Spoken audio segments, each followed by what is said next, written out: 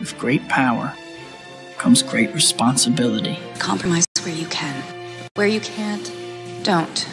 Even if everyone is telling you that something wrong is something right. Even if the whole world is telling you to move. It is your duty to plant yourself like a tree, look them in the eye, and say, No, you move. Never step onto the battlefield of ideas unprepared. Before you enter the fray, you need a plan. And there's no better place to get one than right here on Tactics with host Caleb Colquitt. The Situation Room goes live now on News Radio 1440.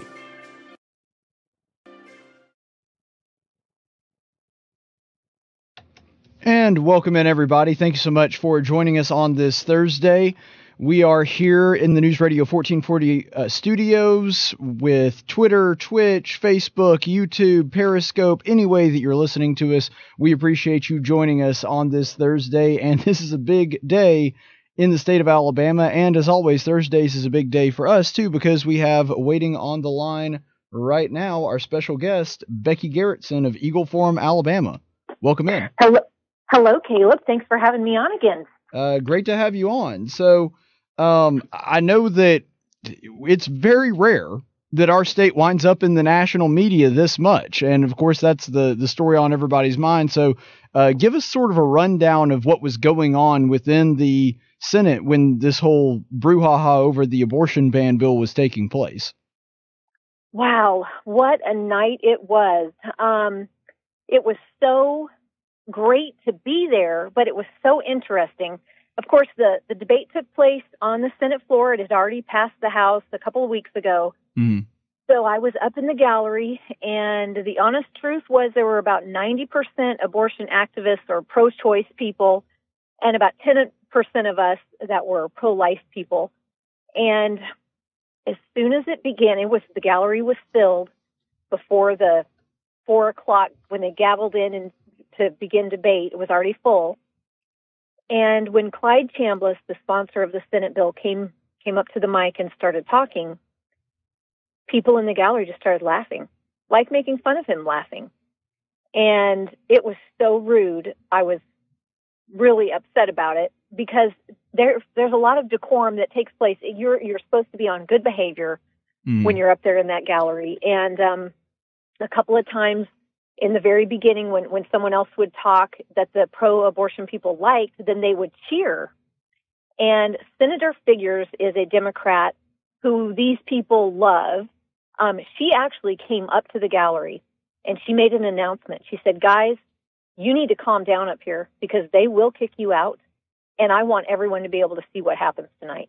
So basically, they, they were treating it like a sporting event, like they were at yeah, a football game. I mean, yes, it was just, it was not the professional kind of thing that you see that takes place there. You know, even though there's a lot of times there's a lot of craziness that goes on the floor down below, and you're thinking these guys are elected and they're down there looking at Facebook and joking around, and but up in the gallery, you know, people are pretty they're pretty quiet. They're watching what's happening. So it, mm-hmm. I was a little frustrated. Um, they did calm down after Senator Figures came up there and told them to be quiet.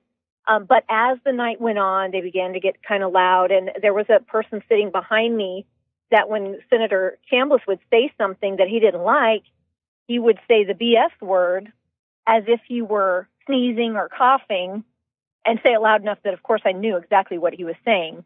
Um, right. And anyway, that's just kind of the people that I think we were dealing with that night. But um, Clyde Chambliss did a great job explaining the bill. The Democrats um, all had their chance to speak, and you know, which I, that's the process, and I'm glad, you sure. know, if that they were able to do that. Senator Figures did offer some amendments on the floor that I'd love to share with you. Um, one of them was that the first one she offered was everyone who passes this bill, who votes for this bill, you will be personally um, responsible to pay the legal bills that will come out of it. And of course, and she wanted a roll call vote on every one of the amendments she offered. So, of course, that one failed, of course, on party lines. Sure. And the next one was she wanted to make vasectomies a Class C felony. Um, she felt that because it was going to be a crime for doctors to perform abortions, that she wanted to kind of get back and say the guys are going to have a problem. Um, yeah, that, that, was voted down. I, I've heard that argument before, and the truth is, you don't hear it repeated all that often because it's even I think the pro-abortion activists realize how dumb it is. Um, because yeah. because the argument has never been. I mean, some of our Catholic friends may have some moral uh, apprehensions towards birth control, but the vast majority of the pro-life movement, and, and, even the Catholics that think that birth control is wrong, still don't want to il- make it illegal. Most of them.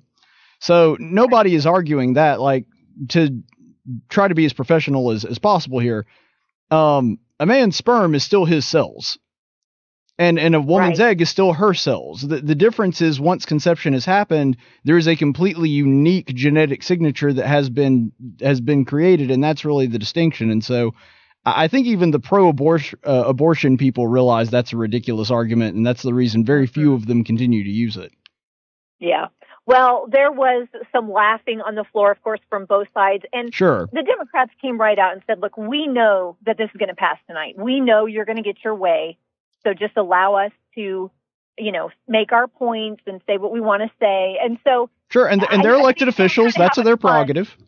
You know, they were kind of having fun with this one. Mm-hmm. Um, then the, the other one, she wanted to expand Medicaid. And that one was a failure as well later on in the debate, um, uh, Senator Singleton came up and he he did offer the rape and incest amendment again. And the vote was a little bit more than on party lines. We had four Republicans that did vote for it, which was Senator Del Marsh, who's the pro tem of the Senate. Um, let's see, Cam Ward, Senator McClendon, and Senator Jones, who is new this year. Those were all four Republicans that voted with the seven Democrats. What's Senator Jones' first name? Because I'm not familiar with him. Um, Chris Jones. Chris I Jones. Is his name. Okay. Yes. I could be wrong, but I'm pretty sure it's Chris. Um, so then, you know, this all began around four o'clock. So by 8:44, I think was the time they actually took the vote, and it did pass I do not have the numbers in front of me, but it was on party lines, and mm. so it, it, passed by a great majority, of course. I was about to say and, Republicans have a super duper majority in the Senate, so yeah, that meant it, it, passed pretty clearly. Yeah, it really did. Um, you know, when you were talking about at the opening of your show, this being a real national phenomenon that's happening, and we're getting a lot of press. Well, I had um, the BBC. I did an interview with them yesterday morning after mm. the vote and of course, they wanted to drag me into, well, how do you feel about the death penalty? And of course, I, I like it. And so, well, isn't that, you know, how can you be pro life and so, you know, one's with a crime, with an adult making a choice, the other one is a, a living being that hasn't done anything wrong. And, and then they wanted to bring in the Second Amendments and should, should we limit guns or, you know, do you want everyone to have a gun? And so that was really fun too. So, so a lot but of red herring arguments essentially. Yeah. So about an hour later, I got another call from someone from England with Good Morning Britain, which is like our Good Morning America. Mm-hmm. Um, and they said, "We just heard your interview. You want to come on our show on Monday morning?" So I'm scheduled to go on and talk about this. Uh, it's one o'clock in the morning, our time on Sunday night, but it'll be Monday. I mean, this this bill is really just making the whole world, I guess you could say, they're going apoplectic over this thing. And especially when you look at Hollywood and, and what they're saying and how we're all just backwards and which of course we're just trying to save a life here. Right. You know, and I I think to, I think part of that may be the way that this thing has been pun intended billed here is that we've uh-huh. said from the onset what the eventual goal is is to overturn Roe v. Wade. And so because of that and because they know that this may be I guess the the, the very first um the first breath of that, the first part of that movement, that's the reason that there's some international intrigue. Uh, mm-hmm. I, I, guess maybe they recognize that, and that's the reason that they're paying close attention to it. Yeah, and I feel like America is, um, as a whole, as a country, we are much more pro-life, and we have that that Christian foundation, mm-hmm. and still a lot of uh, we're an evangelical country, you know, compared to all these other countries, and I think it's just really foreign to them to see these state legislatures coming out with these very strict abortion bills, and they're just having a hard time processing it. I think. Right, and if you grow up in a different culture, that's completely understandable. That's neither really a good or a bad thing. It's just something that they're kind of surprised about. There are actually a few other countries, typically countries with a, a strong Catholic foundation, Mhm. a strong Catholic population. Uh, some South American countries, I believe. Um, Ireland, Ireland just recently voted to allow abortion, so they're actually moving in the other direction. But the point Mhm. is, abortion was illegal there for a very long time. And so you do have a little bit of that in other places of the world, but yeah, especially America with the size and the the power that we have for there to be several jurisdictions in the state that are trying to severely limit abortion, I think that does bring some international intrigue. hmm Yeah. So we'll see how, how this plays out. And I think, you know, there are other states, uh, we've had quite a few this year that have passed some heartbeat bills and Mhm. some, you know, Georgia just passed a bill. And, and I know there's some more that are working their way through their legislatures right now. Of course, ours is the most strict because of, for two reasons. One, um, it does not allow for any exceptions except the health of the mother. Mhm. And also, it, as soon as the woman is known to be pregnant, she's not allowed to abort. A lot of these, it's when they have a heartbeat or, you know, at 10 weeks or 20 weeks or whatever it is. But ours is pretty much as soon as you take that test and know you're pregnant, sorry, you're going to Yeah, now carry this baby. Now, Missouri's is interesting because theirs specifically deals with brain activity, which hmm maybe technology has gotten a lot better than I thought it was, but I thought it was very difficult to even detect brain activity in the child. Like we know about when it starts because we can see the development of the nervous tissue, but hmm uh, detecting brain activity, the neurons actually firing, was I thought very difficult to do because you're having to go through essentially two people instead of just one. And so maybe the technology's gotten a lot better, but people are very concerned about Missouri's law as well because Mhm. its standard isn't just heartbeat; it's specifically detectable brain activity. So uh, you're right. There's a what I like to see about this is that even though I like our build the best, and maybe I'm a little biased just because I'm from Alabama, but I, I mostly think it's because it, you know, the strictness of it. Mhm. Um, if you're looking at it, I like the fact that there's a variety because it's one of those things that if you have several different arrows in the quiver, you have a better shot of one of them hitting. Mm-hmm. Yes. Yeah, I agree.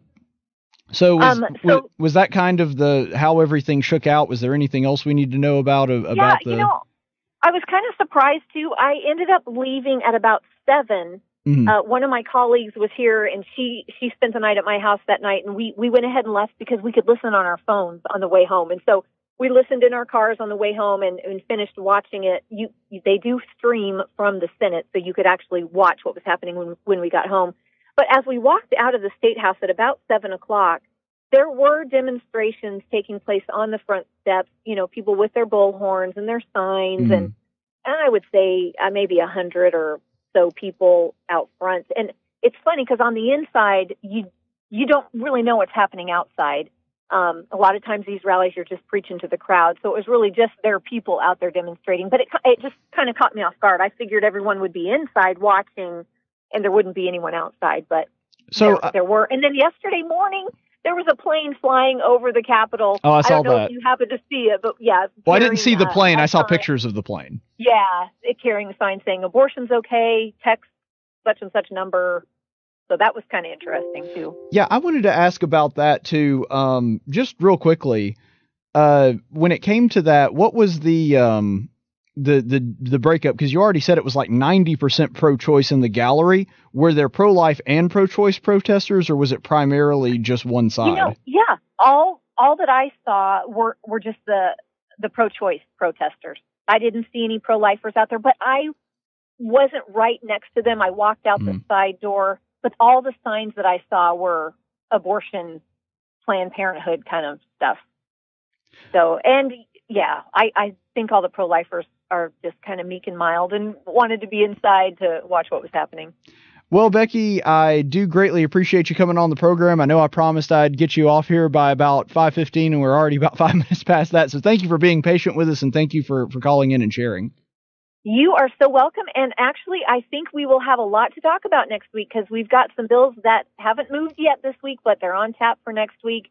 And I can update you on some immunization stuff going down. Excellent. We were able to kill a bill. Did, did we talk about this last week? Yes, we They- did. Uh, briefly Okay. because there weren't a lot of details, but we did mention it. Yeah. Was this the religious exemption one or was this the database? We talked about the religious exemption, and I think you Right. mentioned the database when just sort of hinted at it. Can I take a second and just give you an update on that? Yes, go ahead. Okay. Um, with that, they were going to remove the religious exemption from anyone. So, so now basically, if you want to go to school, your kid has to get uh, immunized, and you can't get out of it. Mhm. The bill sponsor called me the next day and said, "Hey, I got to tell you about this bill, what I'm doing, and why I'm doing it." And so we had a great discussion. But he said, as soon as he dropped that bill, within 12 hours, he was just getting hammered. And he said, "I we are pulling this bill. We are not going to do this." But he lives in a county that has a lot of illegals, and what's happening is these kids are coming in from other countries. They go to the health department. They watch a five minute video on immunizations, and then the the people there tell them, "Well, you can just sign a religious exemption, and you don't have to get immunized." And that's what they're doing. And so he said we need to crack down on this somehow. And so we we talked through some suggestions and some different policies that might be able to help, but still retain our ability to exercise our freedom and be able to, you know, have those religious exemptions for the citizens of the state.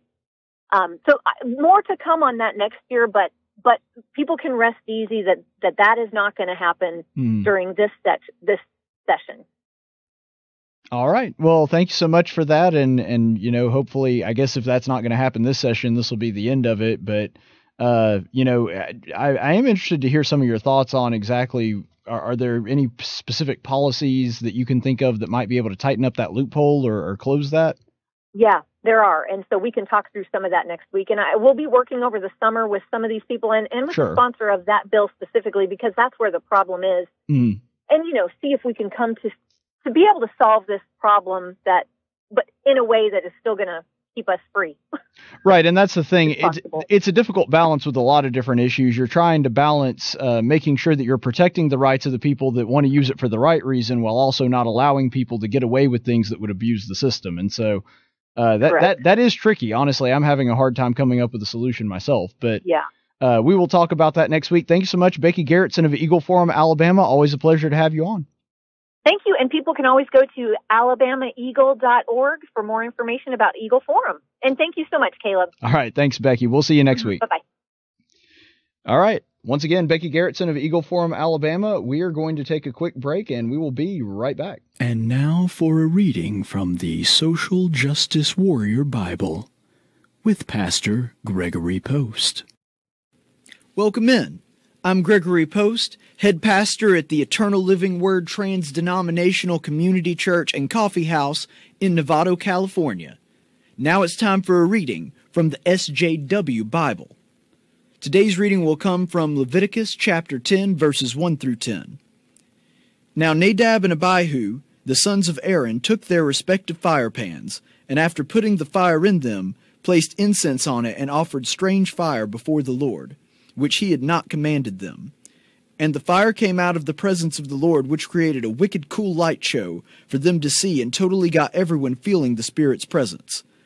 Then Moses said to Aaron, It is what the Lord spoke, saying, Even though I didn't command you to use this strange fire, I totally understand your need to express yourselves in worship and keep yourselves entertained. So Aaron therefore danced and yelled with joy, knowing that his sons were having a good time at worship. Moses called out to Mishael and Elzaphan, and the son of Aaron's uncle Uzziel, and said to them, Come forward, carry your relatives away in front of the sanctuary outside of the camp, for they have fainted from being overwhelmed by the power of God's coolness. So they came forward and carried them still in their tunics outside the camp, as Moses had said.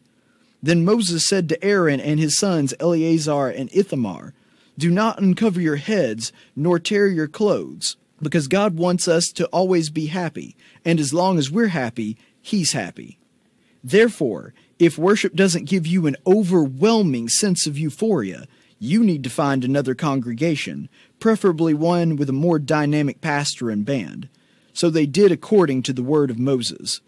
And the Lord spoke to Aaron, saying, Do not drink wine or strong drink, neither you nor your sons with you, when you come into the sanctuary, so that you will be able to drink more once you arrive. It is a perpetual statute throughout your generations. and so as to make a distinction between the holy and the profane, between the unclean and the clean, because when worship stops being fun or feels judgy, then it becomes profane and unclean. Wow, so inspiring. This has been a reading from the SJW Bible, and remember, the only truth that matters is your truth.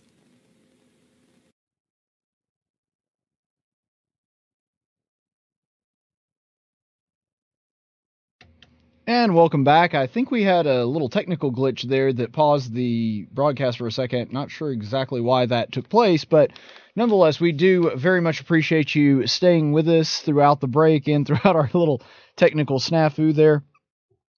So, of course, the abortion ban in the state of Alabama is probably, I mean, there's really no doubt about it. It is the biggest news story that there is right now, but there's a couple things that I, I really wanted to bring up here. First of all, there's been somewhat of a rift between even people in the conservative movement, and it kind of mirrors a rift that happened in the Republican Party right before the abolition of slavery. Because as you may recall, the Republican Party back in the mid 1800s was founded on two principles. We want to get rid of slavery, we want to get rid of polygamy apparently they were very successful in that because we pretty much outlawed polygamy and completely outlawed slavery with the constitutional amendment. So you got to give the early Republican Party credit. They accomplished their two big goals, the two things that they were founded on. But nonetheless, there is a similar rift that is going on between the Republicans then and now because what you had is you had two different camps on slavery within the Republican Party. There were the absolutionist when it came to abolition, and you had the incrementalist. So, to explain exactly what's going on here with that, that there were people that believed, let's just, it doesn't matter what we have to do, even if we have to go to war with half the country, we need to go ahead and get rid of slavery right now. Just done. We make it a law, we force the other states not to engage in slavery. It's an immoral, evil practice that we must get rid of right this second. This was a correct interpretation, of course. It was morally correct and it was legally correct. Had I existed in the time of slavery, I would have fallen more into that camp. I would have been one of the let's go ahead, get rid of slavery right now.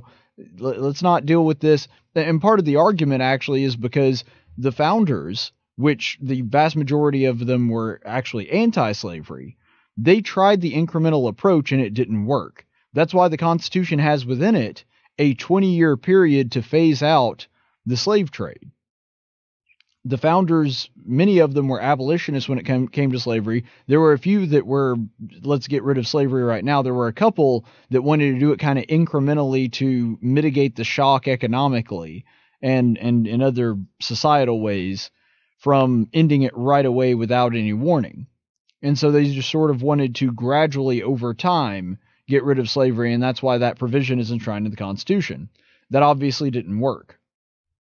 And that's the reason that I thought incrementalism was a bad idea, and eventually history did show that wanting to go ahead and getting rid of slavery right then and there with the Emancipation Proclamation, which didn't really work right away and didn't eliminate slavery in all the states, but that laid the groundwork for the 13th Amendment and then slavery was just done. That was the better approach, and history shows that.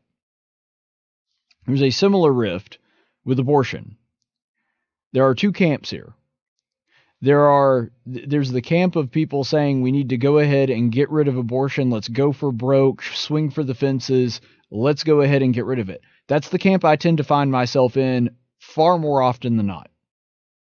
And if I had to guess, that is the camp that the vast majority of conservatives in America find themselves in. Then you have the incrementalist, the people that say abortion is really bad, it's a horrible thing, and we want to get rid of it as soon as possible too, but we don't believe that that is going to happen, at least not overnight, and so it's better to take smaller baby steps towards getting rid of abortion.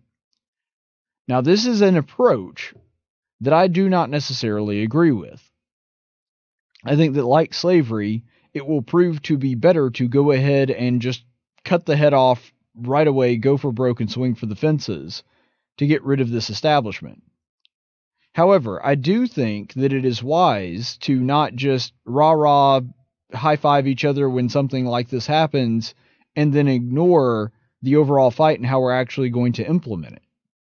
Because if all you're doing is making good arguments, if all you're doing is passing laws that get struck down by the court and you never move anywhere past that, and I don't think that they're, I think even the people that passed this bill did it specifically because they knew it was going to face scrutiny by the Supreme Court, and that was the plan from the beginning. You've seen that on this show a number of times.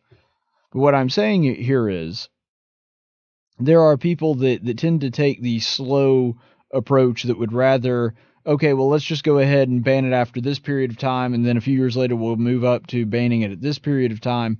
I don't agree with that method because it undermines the core moral principle of the abortion movement, or the anti abortion movement, which is, of course, that abortion itself is a moral evil. And if there is a practice that is being done that is a moral evil, you don't make compromises with that evil. You could use this with slavery, or you could use it with something that's not a as big a moral evil, or at least not societally.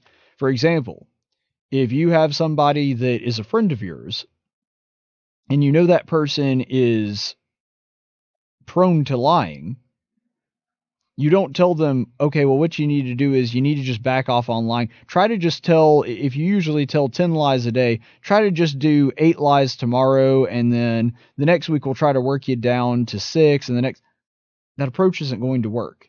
You have to impress upon people the urgency, and you also have to impress upon people the fact that this is a moral evil and it's something that you need to get out of your life. Now, in practical practice, what is going to happen is somebody that struggles with the sin of lying or alcoholism or whatever else, because sins do become habits and moral evils do become habits, that person is going to eventually incrementally get rid of it if they do get rid of it. That's just the way that it works. That's the way human beings operate. I understand that. But I'm saying the vigor and the way that the message has to be framed in order to motivate them to continue that incremental process of sanctifying themselves and getting rid of the sin of their life is to impress upon them the importance and the abhorrence of their own sin. And so this is the same thing with abortion. You don't have to use the word sin because, of course, we're talking in legal terms here. But if abortion is a moral evil and it is something that perverts the promise at the core of our country, which is to preserve first and foremost life and then liberty and the pursuit of happiness, if that is the core principle of our country and what is going on now, abortion, which is at odds with that, we have to impress upon people that that is something that needs to be gotten rid of immediately. Now, is it going to be gotten rid of immediately? No. I would love for tomorrow the House and the Senate and the President and the states go through the process of putting up a constitutional amendment to preserve life from the moment of conception to the moment of death, that person is considered a person and they have the full rights and protections as anybody else. I would love for that to happen, but I realize that's not going to happen.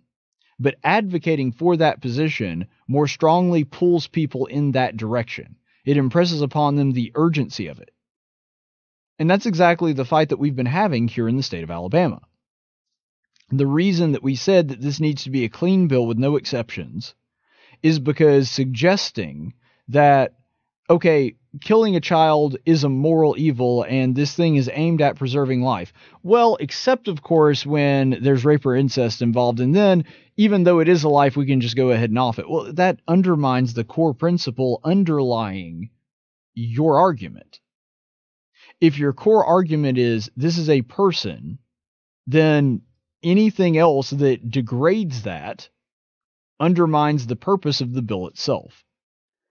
And so it does take, in my opinion, a strong stance that this is a moral evil to start that incremental process of getting rid of it. I understand that it's not going to be gotten rid of overnight. I wish that it would be, but it's not. I understand that, but that doesn't mean I'm going to stop advocating for it being gotten rid of overnight. That doesn't mean I'm going to back off on my rhetoric for the same reason that the abolitionist movement, when it came to slavery, didn't do that. And there were people that were incrementalist when it came to slavery, even in the 1800s. Robert E. Lee, for example, he was an abolitionist. He believed that it should have been gotten rid of gradually, and he actually believed that when the Civil War was over, the states individually over time would do that themselves, including in the Confederacy. Abraham Lincoln actually took this stance. He was not an immediate abolitionist, he was a incremental abolitionist. Frederick Douglass took the opposite side, and that was really the contrast between the two of them when they went up against each other to be senator. They had this debate over and over again. This is all well documented. I encourage you to read them. But what's going on here is really, and I want to take a look at the the larger worldview because I think it, it might help us understand one another a little bit better. There is a distinction between someone who is an idealist and a pragmatist. I am an idealist. Always have been. I think anybody that has been watching my show for any amount of time realizes that I I talk about the world as it ought to be. I also talk about it as it is, but primarily I'm focused on what the world is supposed to be. And I try to operate under that. There are a lot of people that don't do that. It's not because they're morally incorrect. On this issue, it may, may be, but I'm talking about as a general rule, taking abortion out of it for a second. There are people that are more pragmatic. They want to take practical approaches. They try to look at the world and see, okay, what can we do right now? both the pro life movement, the conservative movement as a whole, and the human race needs these people. You have to have a blend of both. I firmly believe that. Even though I get annoyed with it sometimes, I get annoyed with pragmatists. Part of the reason yesterday when this bill passed, I had Matt Clark on. I mean, part of it is just because he's a smart guy and very insightful and knows the law a lot better than me. Yes, those are all contributing factors. That one of the main reasons that I got him on as opposed to another attorney is because I understand how he thinks. I understand that he's much more of a pragmatist than I am. It's not a bad thing. I realize that the world needs both.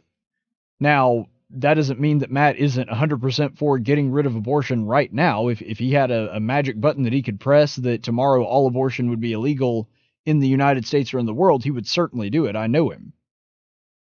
But I'm just saying that the reason I brought him on is specifically I'm more worried about the philosophical side of it. He's more worried with the practical side of it and the law and whether or not the law is actually going to overturn Roe v. Wade. That's the reason I wanted his perspective on the show. I realize that he's much more of a pragmatist than I am. You've heard on this program before, my buddy Chris, who comes on sometimes with the Nerd Herd, doesn't get into the politics quite as much as some of the other guests. But he and I have often joked and and he and he and I are best friends. Uh, he and I have often joked that the only difference between the two of us is that even though we think virtually the same thing on most issues, and and our brains run on parallel tracks.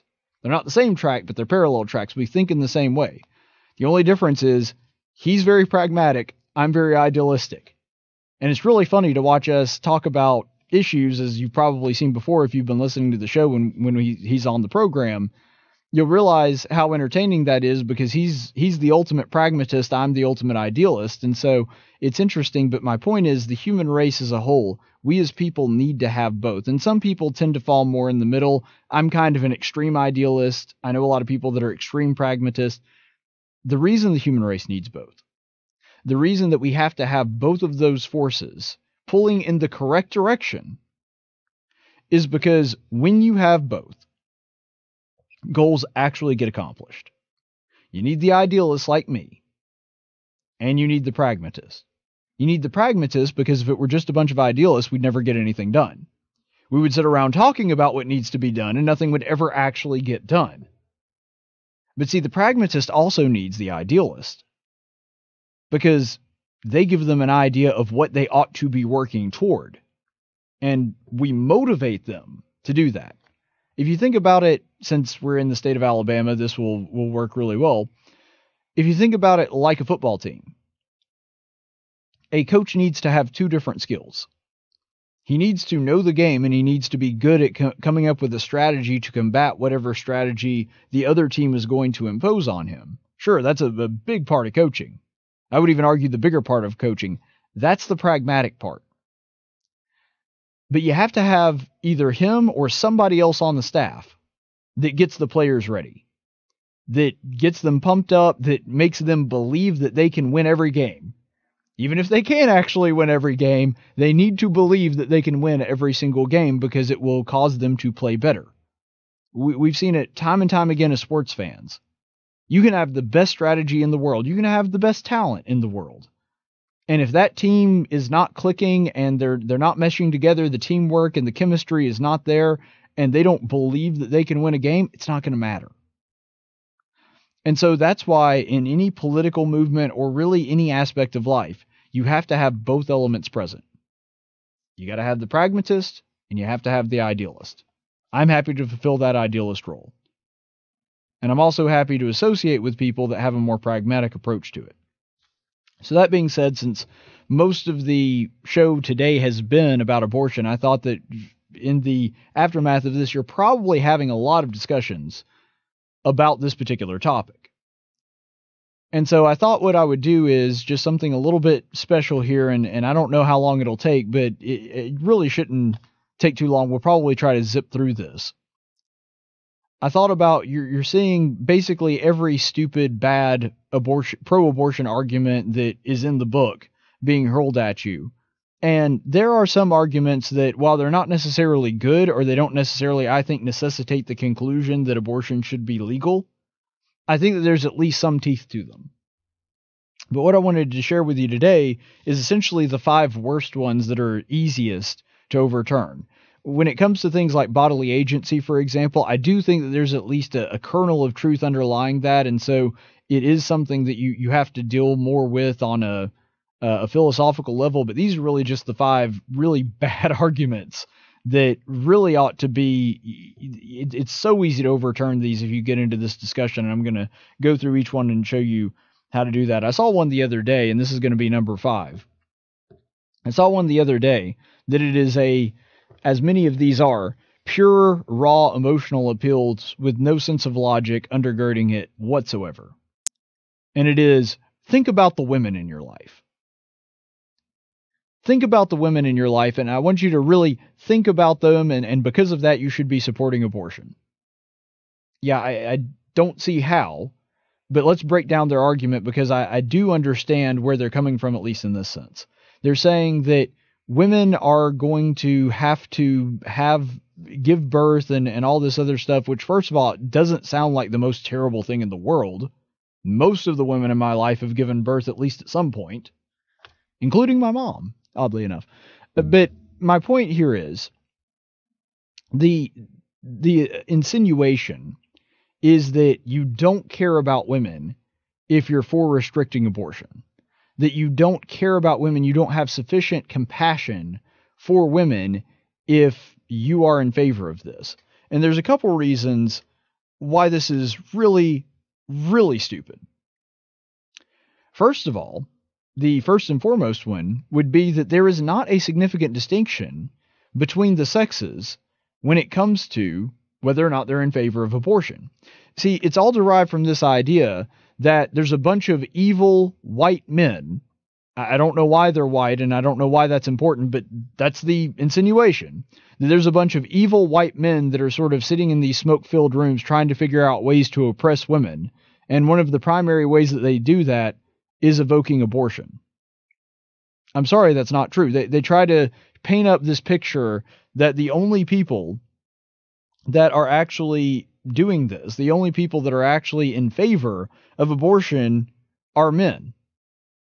Except that's not true, and we're going to get to that in a little bit. I do think about the women in my life.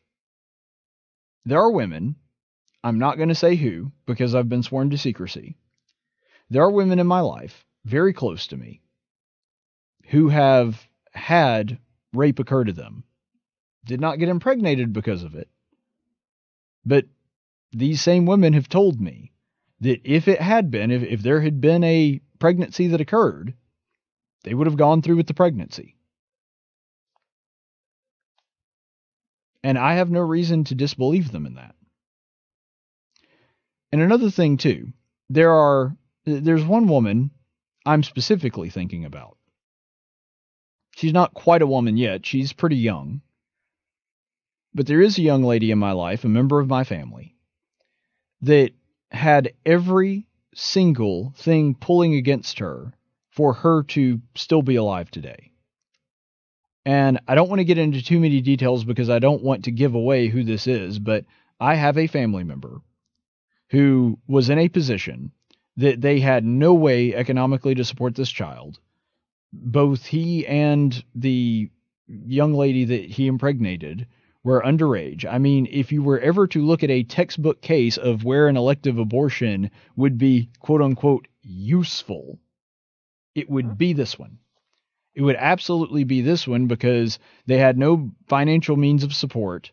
And yet, even though they actually tend to vote Democrat, at least their family did at the time, they didn't vote because they were underage, obviously.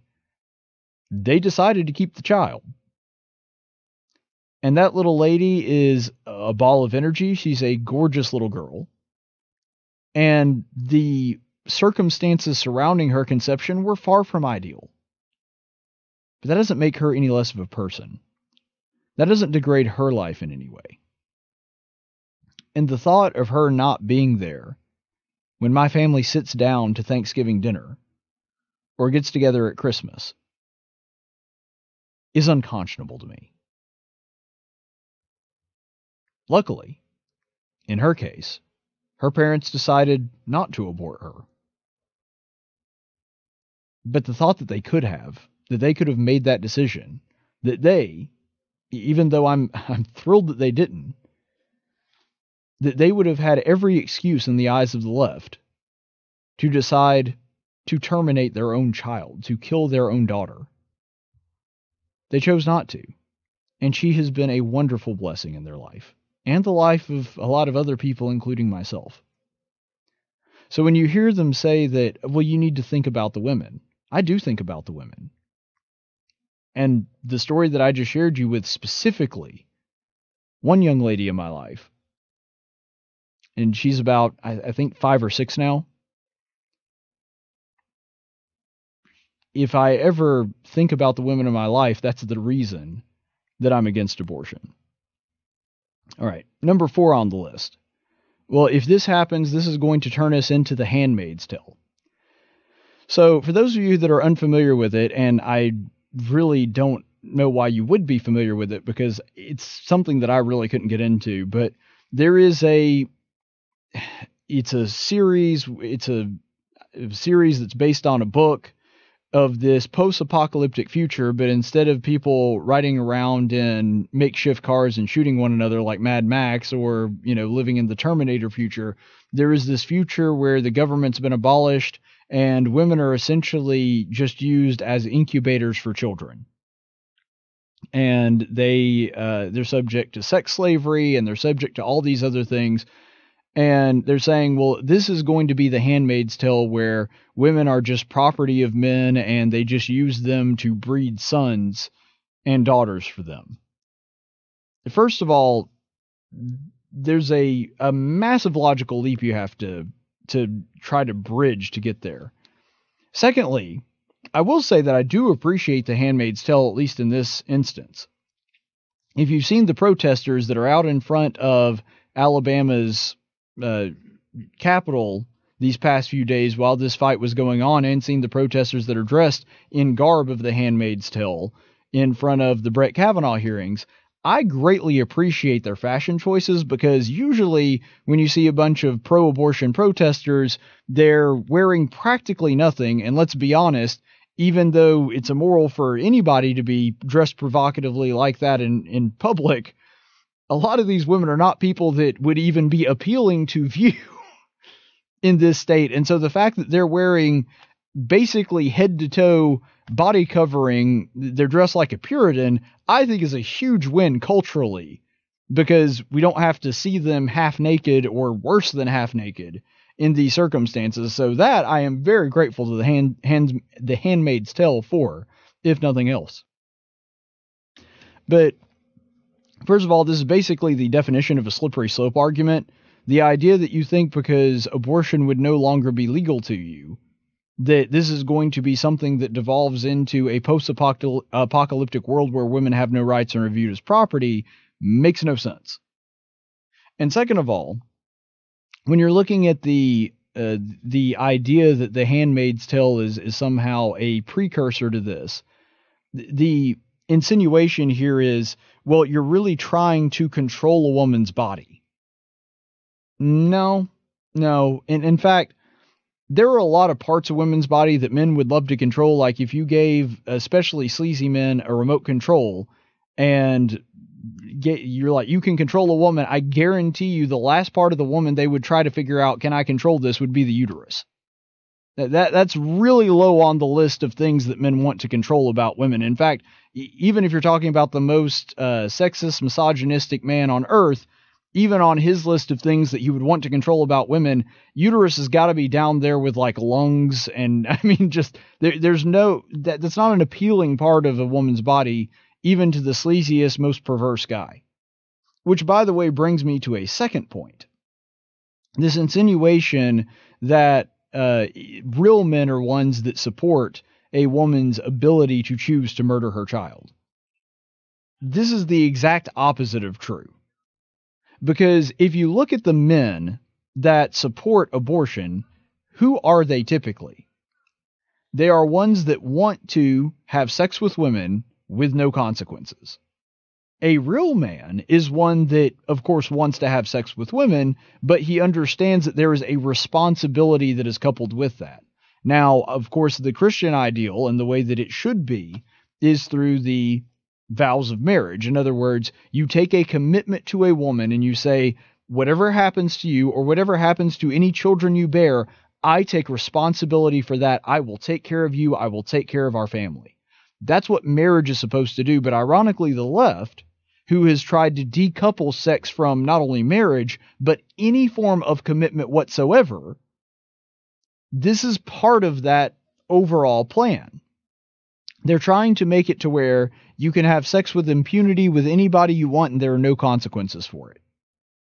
That is ultimately what they desire. And this is why that whole debate between rape and incest and whether or not that was going to be included in the bill nine times out of ten, all you have to do is ask, okay, well, are you for outlawing all abortion that wouldn't fall within those confines? Nine times out of ten, they'll say no. And then you say, well, then why did you even bring it up? If your goal is abortion on demand, abortion at any point in the pregnancy, then why would you go so far as to bring up rape or incest in the first place? It's an it's a dishonest way to have the argument to try to take an exception to the rule, in this case an extremely small percentage of the rule, and try to use that to justify the entire thing. But nonetheless, getting back to the overall point here of men controlling women's bodies, it's the sleazebag men that want to have sex with as many women as they possibly can and not suffer any consequences, not have to pay child support or not support that woman or support the child in any way, the one that just wants to have sex without responsibility, those are the men that support abortion. It's the men that respect women, who value women, and think that sex ought to be coupled with some kind of responsibility. Those are the men that you want to marry. Those are the men that actually do what men are supposed to do, which is act as caretakers and protectors of women. The ones that are for abortion, they're just the one that want to use women. And I know that this is gross and I know that this is a family show, so I'm going to say this as politely as possible, but it's the truth that basically want to use women as nothing more than a device to pleasure themselves with, that see them just as sexual objects and nothing more. Those are the men that are in favor of abortion. The ones that are against it are the ones that are willing to take actual responsibility for the children that they might, may produce. And the reason that a lot of those men, a large percentage of them, believe that marriage and commitment should be part and parcel of sexual intercourse with a woman. Those are the men that you actually want to marry. Those are the women that the men that women ought to desire. The men that you're talking about that that like women that are in favor of abortion, those are the men that want to use women to their own ends. And so the whole handmaid's tale thing, it's actually the exact opposite. The men that want to use women for their own sexual pleasure, they're the ones that are pro choice. All right, number three on the list They say, get your God out of my uterus. Religion shouldn't be used as something that is a basis for policy. There is an aspect of this argument that I actually think is true. And before you start throwing uh, bottles at your computer screen, give me a second to explain. It is true that something being a part of a religion is not in and of itself a reason to make something legal or illegal. For example, adultery is completely against the laws of God. It is a sexual sin. However, as gross and disgusting as adultery is, it is a consensual sexual relationship, unless we're talking about rape, and that's a completely different thing. But it's a consensual relationship between two adults that, even though it's morally reprehensible, they're not creating a victim in the strictest sense. And so I don't understand why that should be something that's illegal. Lying, for example. Lying's a terrible thing. Anybody that's watched this program for for any amount of time understands how much I revere the truth. But lying still shouldn't be a sin. Then you run into a, a constitutional issue about free speech. If you want to lie, you should be allowed to lie. There should not be any legal penalty for lying, unless, of course, you're lying in a way that, again, creates some kind of victim, like if you're falsifying a police report, something like that. And even then, that's not the speech itself that's being prosecuted. But something being a religious tenet is not necessarily grounds, or it should not be automatically, okay, well, if, if that's what the Bible says, then we've got to make a law against it. If the Bible says this is wrong, then we need to criminalize it. I don't believe that that's a correct approach to take, and our founders didn't believe that either. However, just saying that because a religion says something that we ought to do the opposite and say that that shouldn't be a law, that's also not a valid argument. Case in point theft is something that the Bible says is wrong. Should we decriminalize theft just because the Bible says that it's wrong? Because you could use that same argument and say, well, get your God out of my, I don't know, thieving ability. if you if you're saying that if you're going to use that argument, you can't use that argument to say, well, a religion teaches that it's wrong, ergo we should disregard it. Well, then you're going to have murder and rape and all kinds of other things made legal if you're saying, well, if a religion says it's wrong, then we need to make it legal. See, they're trying to do the opposite here. I don't think that something merely being in the Bible is a grounds in and of itself for making something illegal. But it's also not grounds to make bad things that the religion teaches against legal either. Furthermore, and this is the second part of this, when it comes to religion, I don't need religion to get to the point where abortion is wrong. I don't. I do not need religion to get to that point. Someone merely needs a basic understanding of biology I mean, very rudimentary, elementary level, to understand that the baby growing inside a woman is indeed a baby. That's all you need. You don't need a religious argument. The Bible certainly teaches that it's wrong, but you don't need a religious basis to get there. Austin Petersen, for example, guy ran for president, was a member of the Libertarian Party. Guy's an atheist, still pro life. You see, by any objective scientific measure, the child growing inside a woman is indeed a human being. And so if you hold the belief that that life, a human life, is intrinsically valuable, then you arrive at the fact that abortion then should be illegal. For the same reason that killing a two year old, or killing a five year old, or killing a 30 year old is wrong, killing the baby inside the woman is also wrong. You don't need religion to reach that. You don't. The left constantly tries to paint it as though the only the only way that you can arrive at abortion is an incorrect or immoral action is if you're using the Bible and the Bible just has a bunch of arbitrary rules that God just sort of on a whim said, okay, well, that's wrong. But no, it's not arbitrary. There is a good reason for it, and you don't even need the Bible to reach that conclusion. You certainly can reach that conclusion through the Bible. But that's not the only thing at play here. Even if I became an atheist tomorrow, I would not suddenly be pro choice. Now, there is an aspect of religion that is needed to reach at least part of that argument, and that is that life is intrinsically valuable. You do need religion to get to that point because if we're just meat bags riding on a rock through space, well, then our lives are not terribly significant. We have no purpose, we have no meaning. But as far as the idea that life is intrinsically valuable, if, if you believe that human life, that there is some value to that, then if you are to follow logic correctly, you will arrive at abortion being illegal, that abortion being criminalized. So, yes, it's it's true that you don't need religion to get there because as long as you accept that premise, you don't have to accept religion or you don't have to accept the Bible as long as you accept the premise merely, even though that premise does have religious roots. That human life is valuable and it is intrinsically valuable. For Christians, the reason that we believe that is because each human being is created in God's image, and the same for the Jews. But if you can reach that through some other means, as long as you value human life in some way, then you cannot consistently say, but I also think abortion's not wrong.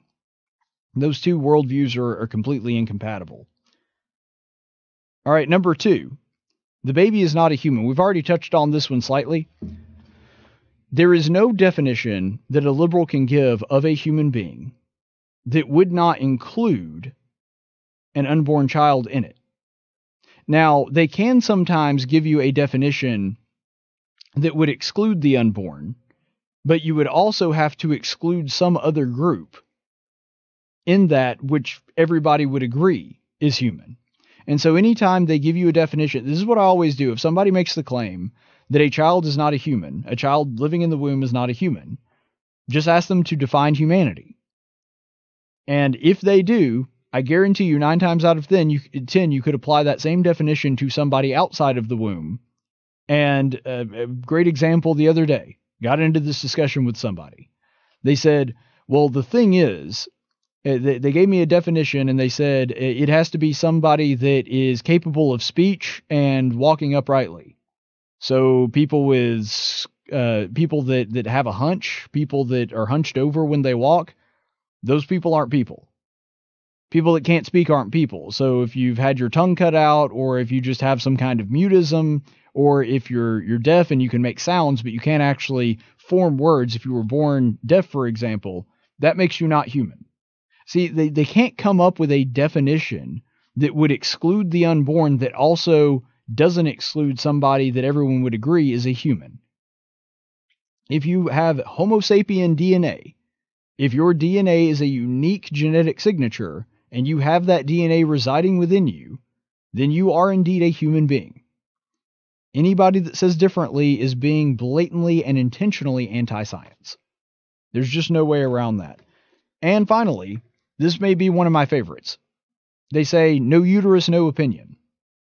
In other words, if you don't have a uterus, if you don't have a female body, then you don't get to you, you don't get to have an opinion on the issue of abortion. There's a number of reasons why this is a really terrible example. First of all, it's one of the laziest debate tactics in any, this isn't even exclusive to abortion.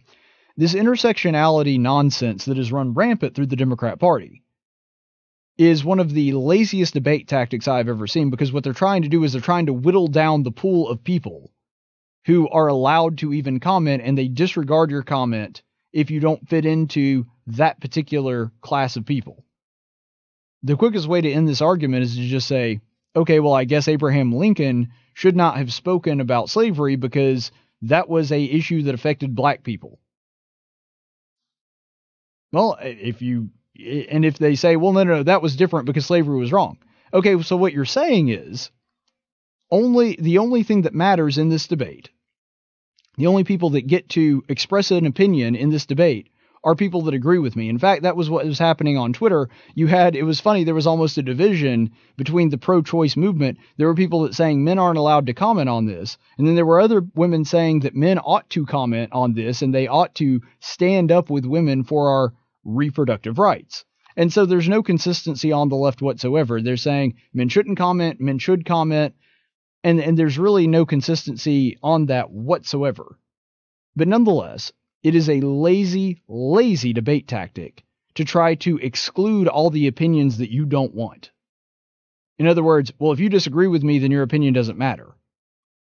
You could say that about any issue, and it's just your way of being dismissive of arguments which you find to be incorrect without actually having to fight the argument. They're trying to shut you up as opposed to actually winning the fight, winning the debate.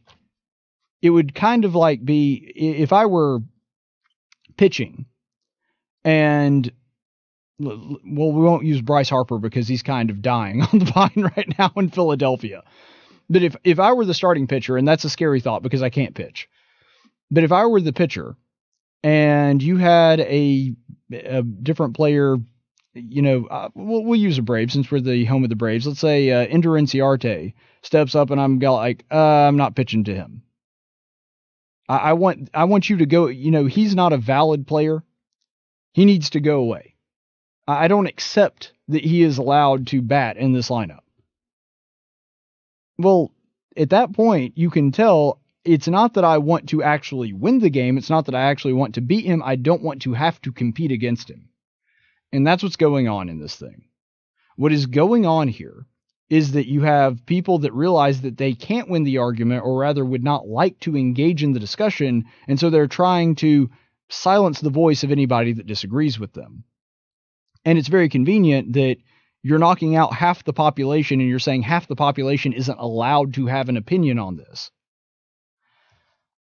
But another thing that is important here is that it also operates off the premise that women are pro abortion or men are against abortion. And it's because men are trying to control women through the patriarchy.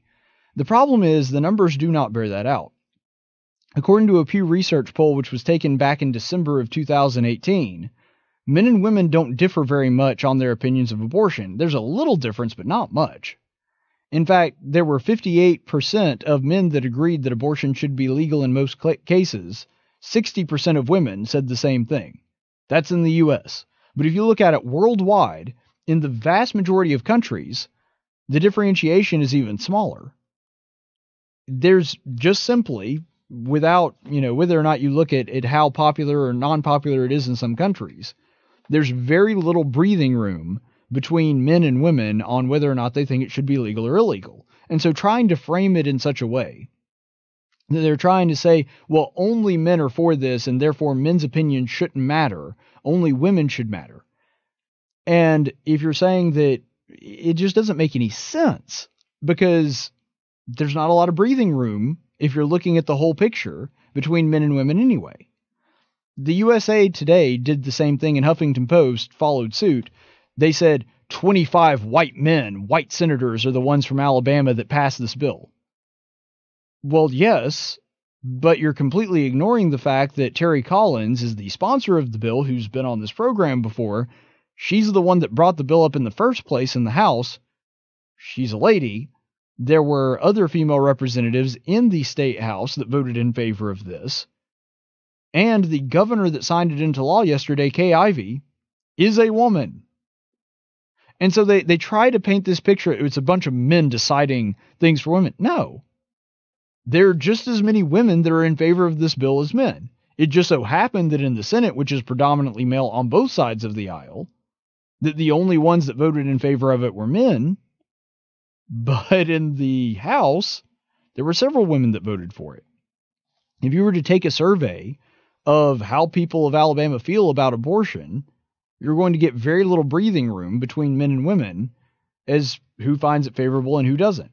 And that is true across not only the US, that's true across every country, as Pew Research found. So they're trying to frame the argument in such a way, but it really just does not work because when they're trying to do this, it, it falls apart as soon as you look at the numbers and the approval numbers of abortion between men and women.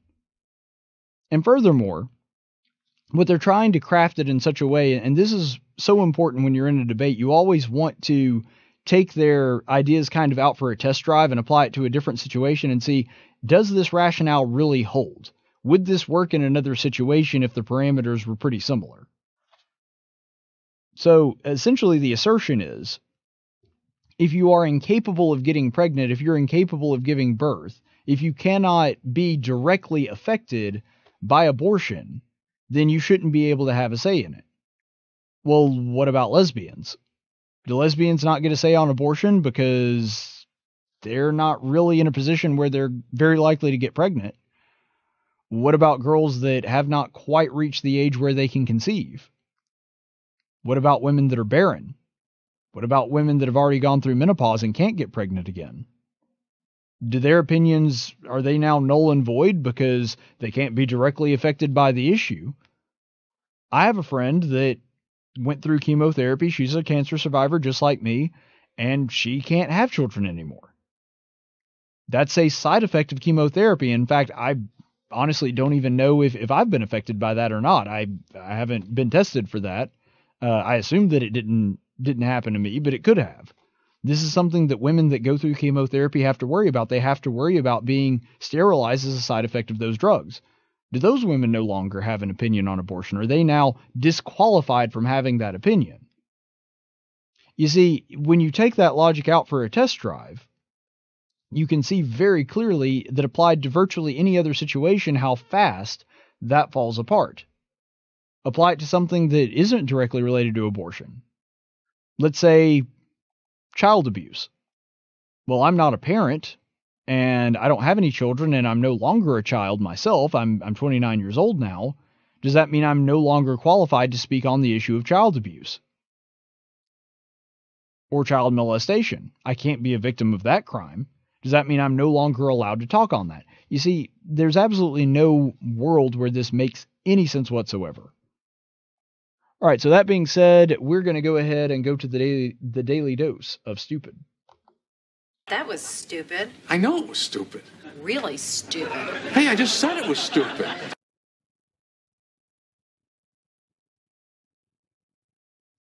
The daily dose of stupid today, I got to say, I am kind of ashamed of myself that I missed this one. Apparently, this happened over the weekend, and I just now heard about it. Did you know that Beto O'Rourke, Bob Francis O'Rourke, the most Hispanic Irishman that we have in the race, which is actually the same as saying he's the least Hispanic Irishman in the race, but Bob O'Rourke had to take a break from his campaign. Skater boy Bob O'Rourke was not on the campaign trail this weekend because, of all things, he had a family emergency. And the family emergency was he lost his turtle. Now, I understand losing a dog. Dogs tend to wander, they can chase a car, get lost. I understand losing a cat. I understand losing a number of different animals. I am the guy who ran through a subdivision chasing a couple of, of show steers that I had one time. Like, I, I get losing animals. This is not a new phenomenon to me. But it's a turtle. They're the slowest creature on earth, and somehow Bob Francis O'Rourke's family lost the turtle. Now, I'm glad that his family found the turtle. I don't wish any ill towards him. I'm just sitting here thinking, this man can't keep tabs on a turtle. It's not like a dog where you could turn around and then all of a sudden the thing's just gone. I mean, how does a turtle run away from home?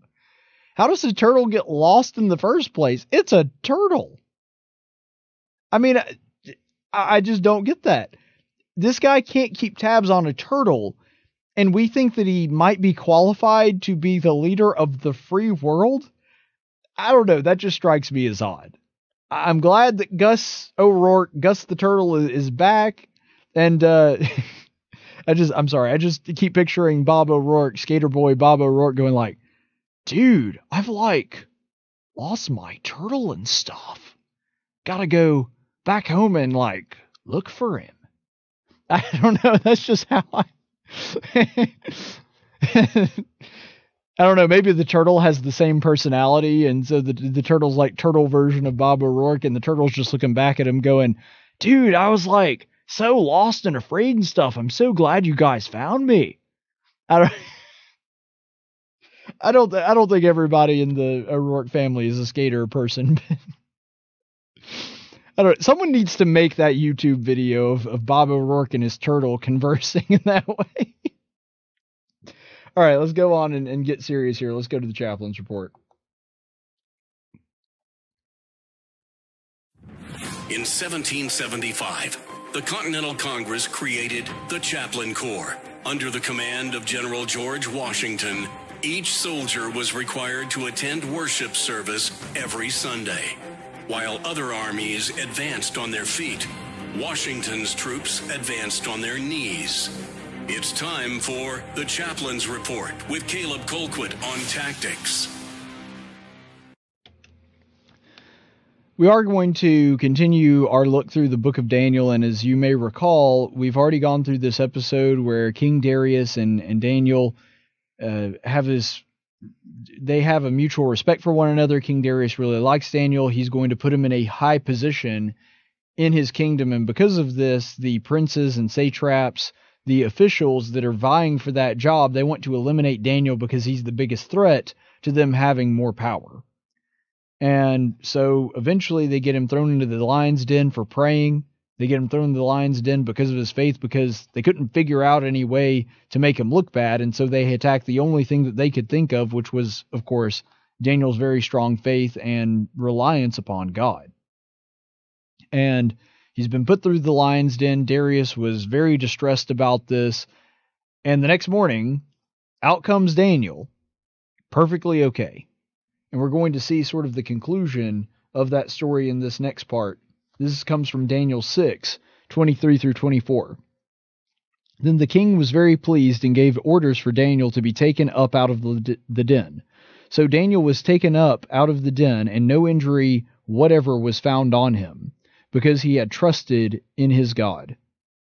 The king then gave orders, and they brought those men who had miraculously accused, er, uh, maliciously accused Daniel, and they uh, they cast them, their children and their wives, into the lions' den. And they had not reached the bottom of the den before the lions overpowered them and crushed all their bones.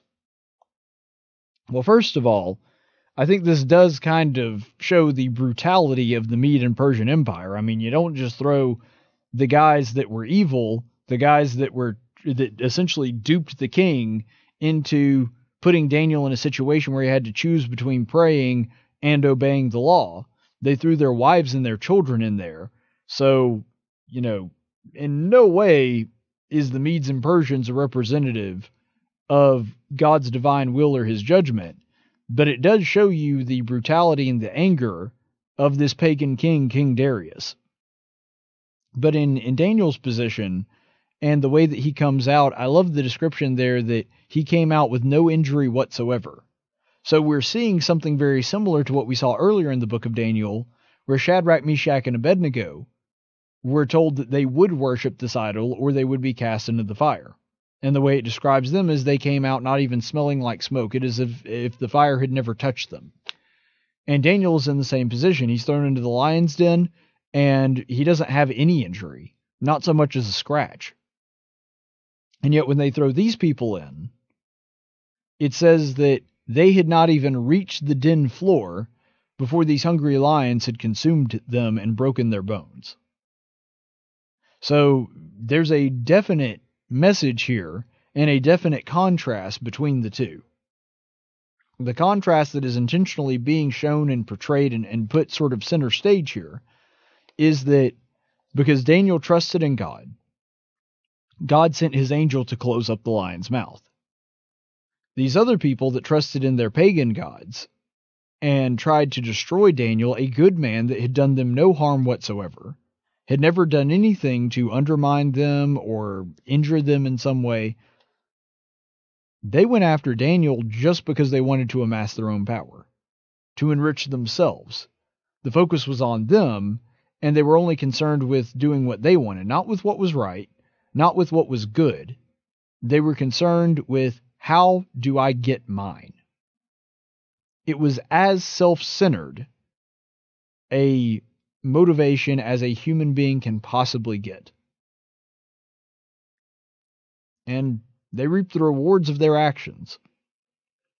Sadly, and we're not given a lot of information on exactly how this took place. The sort of indication is that it happened virtually immediately, is that they and unfortunately their families also paid the price for their own envy. It really is a shame. Because in this case, they didn't even necessarily have to believe in God, just not do evil. And that really is a testament to God's judgment. Because even though the only way to find salvation and to escape our own imminent demise is to follow God, in this case, they didn't even really have to do that. They just had to not attack an innocent man to avoid this fate. Now, eternally, they would have still suffered the consequences. But right here, they could have avoided that if they had just left Daniel alone and played by the rules. God's judgment does not sleep forever. It comes quickly, and when it comes, it is intense, as these people found out all too well. But on Daniel's side, all he had to do was trust that God was going to deliver him, and he did. Darius believed that God would deliver him, and he did. You see, when you lean upon God, his promises get fulfilled. The promises of these other gods, these other pagan idols that were put up, they don't. And in their case, their biggest idol was not the ones that they worshiped. It was themselves. It was their own goal, their own greed, their own ambition. They decided that nobody was going to stop them from getting what they wanted. Didn't matter how they got it, didn't matter if they had to cheat, didn't matter if they killed another person and ended their life to do it, they were going to get what was coming to them. And eventually they did, but it wasn't what they wanted. Stay the course, friends. Tactics is a production of News Radio 1440 and Cumulus Media Montgomery. Any opinions expressed on this program are those of the host and do not necessarily reflect the opinions of Cumulus Media. The theme song for Tactics is Six Foot Town by Big and Rich. Graphics by Jessica Dawson. Broadcast studios provided by Cumulus Media Montgomery. Location studios provided by the Dalraida Church of Christ. Copyright 2019.